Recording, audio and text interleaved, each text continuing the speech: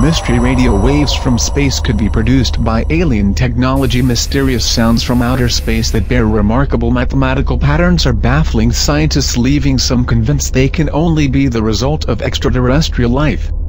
Bursts of radio waves picked up by astronomers apparently follow a mathematical pattern, causing experts to speculate that it is being caused by an artificial source human or non-human.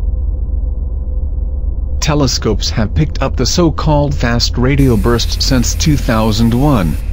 The waves were last detected by a telescope in Australia in 2014, but experts are still confused by what could cause them. Lasting just a few seconds, the burst still managed to emit the same amount of energy that the sun releases in a whole month.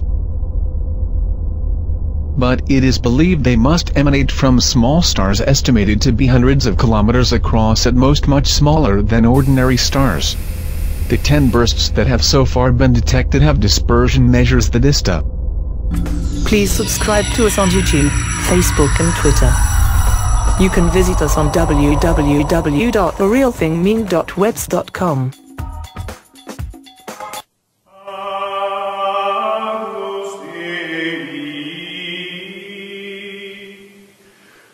me.